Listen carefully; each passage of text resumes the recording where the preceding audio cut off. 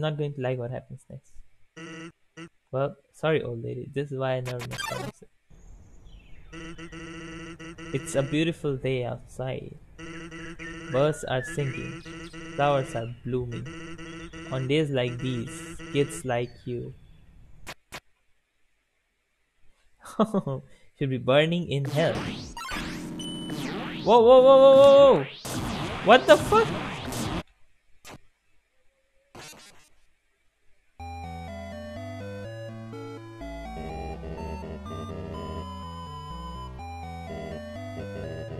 Excuse me?